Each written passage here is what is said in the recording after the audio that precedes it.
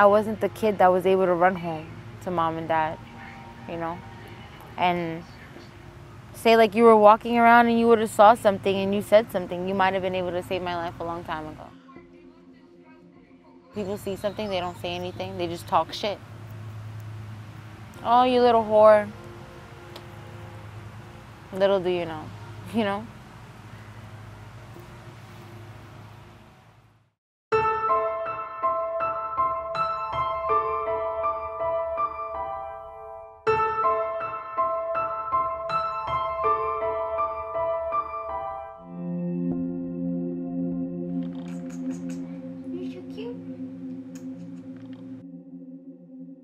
Happening here in Long Island. Pretty much any town that has more than 20,000 people that live there, you can assume that human trafficking occurs there.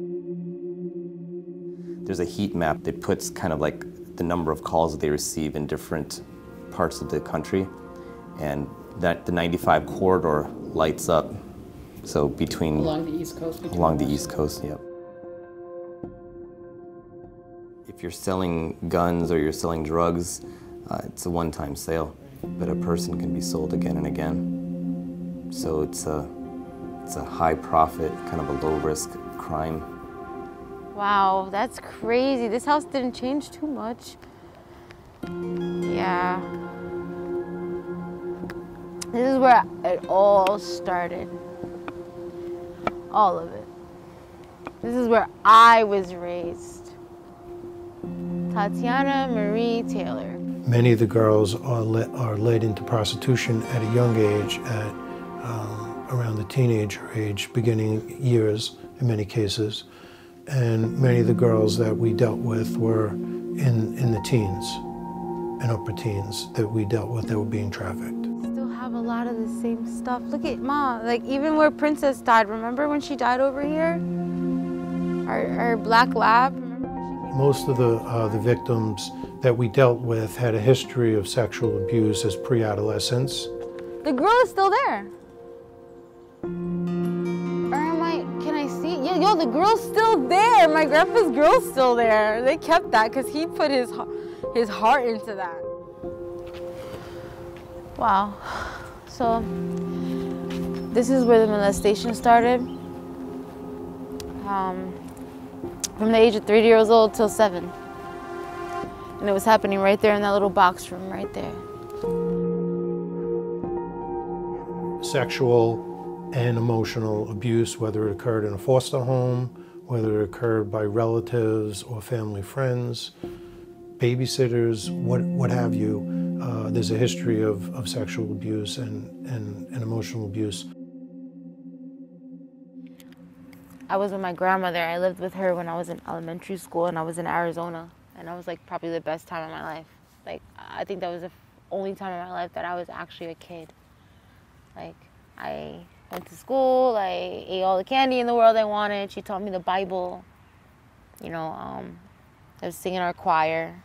I played the flute. I had a rolly book bag and Heelys. I was the biggest dork in the world. Like, I was just a kid and my mom begged for me back. And my grandma's like, "Oh yeah, you're gonna only go there for two months for the summer." And my grandma lied to me, and she sent me with my mom forever. And when I was getting registered back into school, my mom's boyfriend at the time ended up molesting me. I think it was more so financially for my mom, like she just wanted me so that she can get money from the state for me. She should have just left me alone. And then when she left me, she literally left me. Like, could you imagine waking up, right? And you're packing up everything. And you guys think you're all moving to Florida. And you wake up and everybody's gone in your house. Everybody's gone and you're the only person left in your house. She left me in Central. I, I could show you the house that she left me in. Like, it's crazy. I pass that house all the time.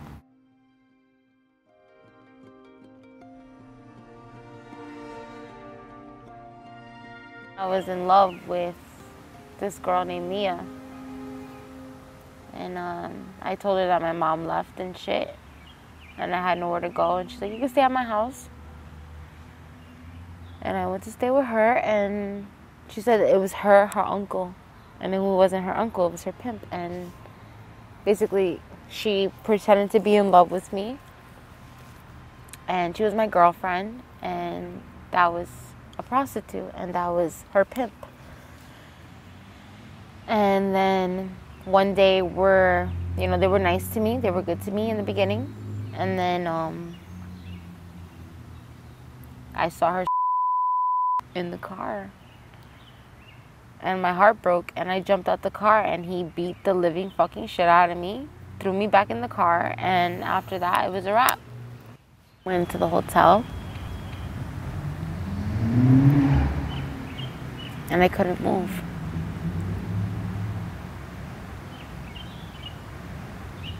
And they raped me. And how old were you? I was 13. I was 12 and a half when I met him, and I was like 13 when that happened. And then it was hell ever since.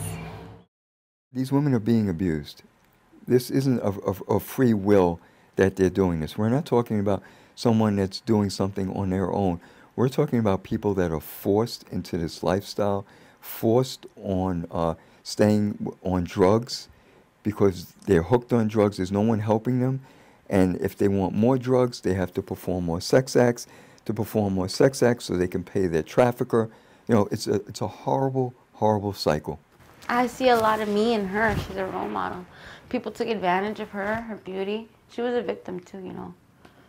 Like in the beginning, I never accepted it, so it was a fight. I was constantly getting drugged and beaten and abused. Sometimes there was no sleep or days. Like you just went for days, like making money and running and keep on and keep on and keep on and keep on. And before you knew it, the whole week went by and you didn't mm-hmm. close your eyes once, you know. The numbers of times they're sexually assaulted in a week are shocking and alarming, including as many as five or six clients a night. I was going to high school and being sex trafficked, and none of those teachers knew. Nobody paid attention. Of course, I was scared. I cried every time. I cried every time. And you know what they did? They covered my mouth. And you know who was doing it? Police officers, judges, lawyers, people I still see walking around in Central Islip fucking courthouse. You know how weird that shit is for me? To be walking around going to court for a fucking traffic ticket and I fucking see these fucking lawyers walking around that were fucking me when I was 13 years old. Who is actually buying sex? It's doctors, it's it's clergy, it's politicians. A lot of prominent people in the community, including folks like judges, folks like lawyers, um, who are who are purchasing sex, and that's uh, what we hear consistently from our clients. Um, you know, without sort of the mechanism to confront those who are buying and selling sex, we can't really truly verify that, but we have no reason to disbelieve that. It's people with, with wealth. And it's a power dynamic, like you were saying. I mean, that's the reason why they're able to, to, to one, to do it, and then to, to get away with it. I didn't pick what my name was for the day. I didn't pick my clothes. I didn't pick anything. I didn't even know who the fuck I was or what I wanted or or anything. I got my period with this fucking guy. Like I grew up being groomed by this man. And I was only 13. 14, 15, 16, 17, 18, 19, 20. I'm 30 years old now. This just stopped. This just stopped. And this is a prostitute name that he gave me. It's a prostitute name that he gave me, the first name I ever had. Shakira. Shakira. He named me that. I don't want any of these. I'm constantly labeled. prostitution early on was in the street, streetwalkers. And then it kind of, uh, and it was obvious. And the complaints came in about uh, prostitution in certain areas, and community. Since the internet and social media, it's kind of come off the street almost everywhere. So, you know, very rarely you'll see in some communities, it might still exist for certain times of the day, but for the most part, it's come off the streets and it's gone into hotel rooms, motel rooms, and also people's houses. It's been put out of sight and out of mind to a lot of people, where people sometimes now, I think, think it's more of a, a victimless crime because they don't see it anymore. Finally. Get to breathe. You've ever been crying and light a candle and then the flame starts to flicker out of control? Way higher than it's supposed to go. Or you go by the water and you're crying, and for some reason the water by you is so still, but everywhere else it's chaotic. If somebody's in a situation where they're being trafficked and there's violence occurring, um, it's, it's, they could be getting raped and servicing men for 15, 20 times a night for years. So it, it really messes up your brain. I mean, your startle reflex, your some of these things are just survival um, to be able to make it in those moments. But in, in real in the real world, you're just hyper vigilant. Your your thought process gets all convoluted, and you're not thinking clearly. Uh, their thoughts are kind of jumping all over the place, um, and that's the result of like a complex like uh, complex trauma and, and PTSD where their thoughts are just not coming out appropriately. So. Um, and as you're talking to somebody like that, uh, you don't know what you're saying that could be triggering them, and then they get lost in their thoughts and they're kind of reliving those experiences. They're intrusive, and uh, it's difficult for them to actually carry on a conversation, a logical flow. Yeah, I um, tried to commit suicide here once. About five years ago. It was black, it was dark, the water was empty. And I just jumped in. And I put rocks in my pocket and they weren't heavy enough, so I floated back to the top. It's hard for people to understand how someone might be coerced into the life. And it's hard to imagine ourselves in uh, these individuals' roles, uh, in, in their shoes. Narratives around what trafficking looks like are highly problematic that we associate pretty woman with you know what trafficking looks like is an enormous problem that is not at all what it looks like outside of perhaps very very high end escort services um, for the people that we serve it is incredibly violent Jesus Christ, my Lord and Savior, I come to you today and I ask you to forgive me for all of my transgressions, my sins. I ask you to cover me in your blood. I ask you to always protect me in my mind and my soul. If I did not go to jail, I would have been dead now. I would not be here with you guys, and I don't think anybody would have cared.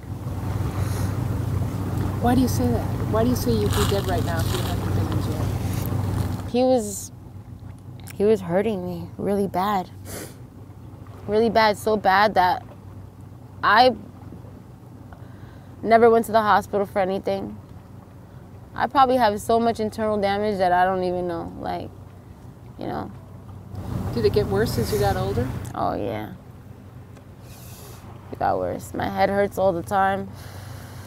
We monitor phone calls here, and at one point, we noticed that there were females in one of our, our pods that was trying to recruit other females into this human traffic phenomena. I have someone that could take care of you, they'll give you a place to live, they can supply you with all the drugs that you need. And, you know, internally in jail, we had to thwart our own ring that could have been occurring inside. So imagine what's going on on the outside.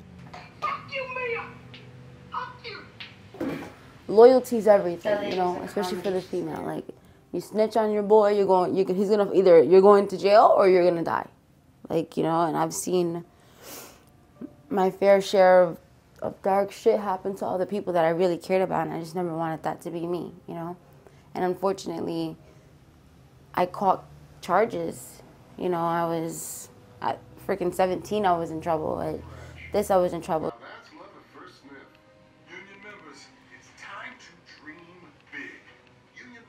everyone thinks run away, run away. Running away is not an option. I was 13 years old when he finally got a hold of me. That was all I knew. And then you you learn as you go along with this life that he really was untouchable. Like he really was. was I was getting arrested. Like, you know, for stupid shit. You don't say anything, he'll come get you. Like that's just what it was. That's still what it is. We shouldn't be criminalizing the victim. Um, we should be criminalizing those that are causing the crime. Uh, that's that's what needs to happen. I mean, it's the only the only crime that I can think of where we penalize the victim. It's supply and demand.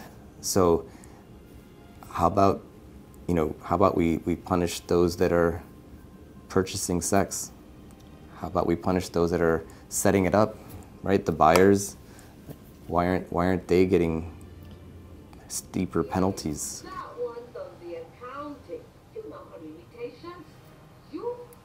Where'd you learn all this? Self-taught.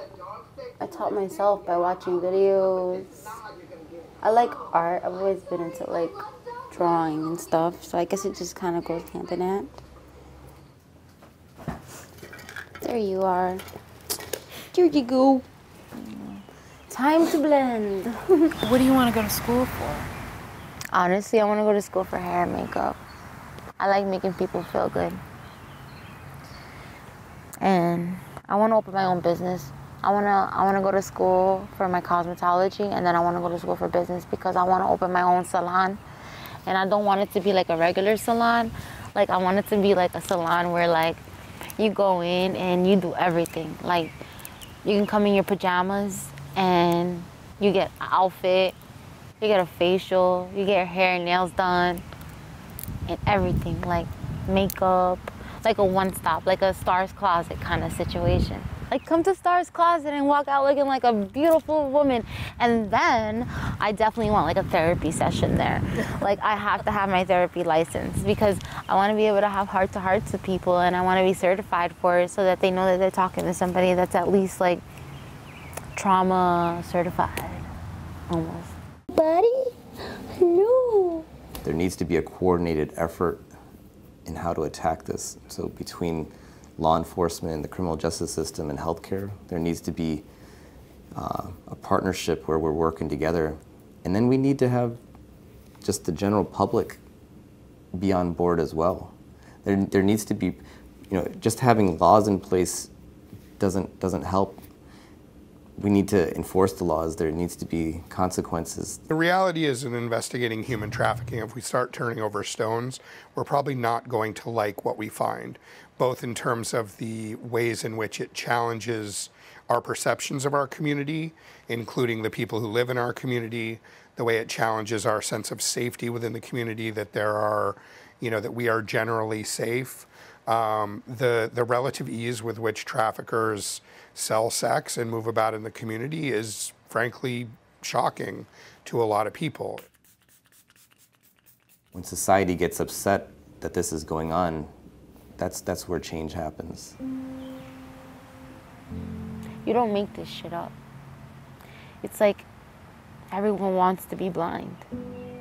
Or they see the truth, they just not brave enough to do anything about it because the people that are in power are the ones that are doing the fucked up shit. Love ya. See you later. I don't want to block your life. I'm sorry for leaving that stuff on your dresser. My bad. Sorry, buddy. See you later. I need a whole nother life. Like, I need a, a cleansing. I need, like, to be dipped in holy water and come out and just for everybody to just let it go. And let me be. Please, because I'm fucking tired. Because of the life that I have to live in order to survive. Because of my image, because of my past, because of my record. You know, it's forced me to have to go into fucking constant survival mode. I'm trying to be all these great things and I don't have a chance because no one will give me one. Because they think they know me based off paperwork. And they couldn't be more off.